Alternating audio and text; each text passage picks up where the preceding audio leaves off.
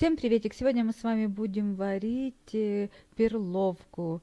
А варится она легко и просто. А самое главное, что она получается у нас рассыпчатая и очень вкусная.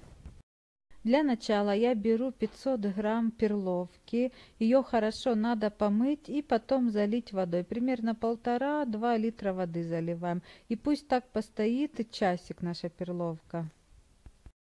Час прошел, сливаем воду, еще раз промываю перловку. Теперь пересыпаю ее в кастрюлю, заливаю водой. Примерно мне ушло около полторы литра, чтобы в кастрюле вода вот так на 2 сантиметра выше перловки была. Все, и отправляю на средний огонь и жду, пока она закипит. Как закипело, притишивая огонь и продолжаю варить на медленном огне. Все зависит от фирмы и от сорта вашей перловки. У меня понадобилось 30 минут, я попробовала, и все, моя перловка готова.